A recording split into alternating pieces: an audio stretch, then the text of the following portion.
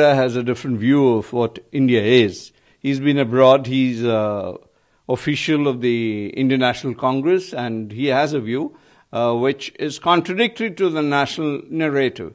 The point is, Mr. Pitroda needs to understand Pulwama was the last stroke, and we have suffered enough.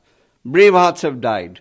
There was time that we return the compliment to Pakistan in our terms, and that's what we did. It was the UPA government that presented evidences to the world, to the United Nations, to uh, Pakistan, establishing a direct link between Pakistan and 2611. And today, there's a memory loss of Sam Pitroda. He does not realize it was that government that did what it did.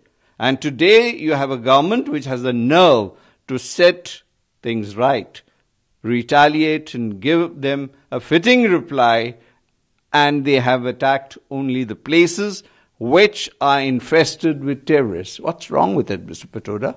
Strike. If you say 300 people were killed, we all need to know that, and all India need to know that.